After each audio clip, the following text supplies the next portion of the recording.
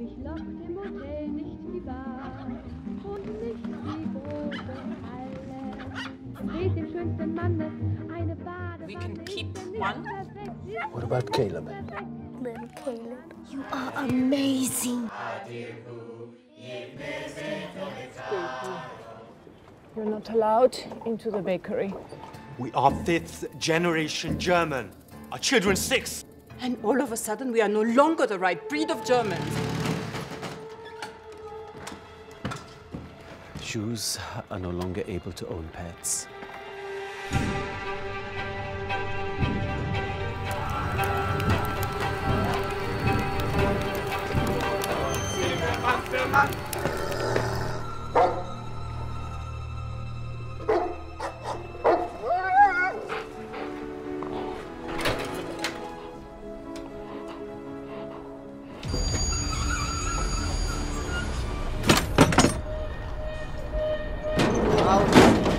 Raus! Hurry up! Is your dog pure German Shepherd? The truth is, I don't really know.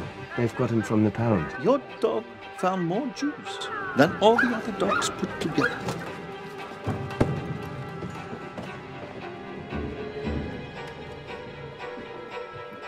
What are you looking at, you little filthy Jewish boy?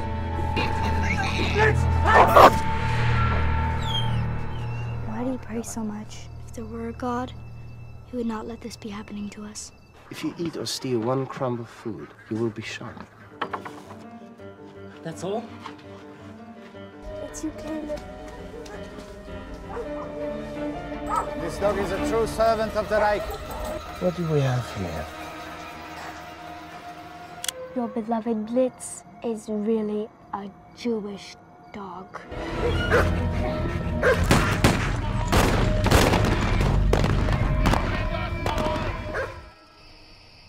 just us now.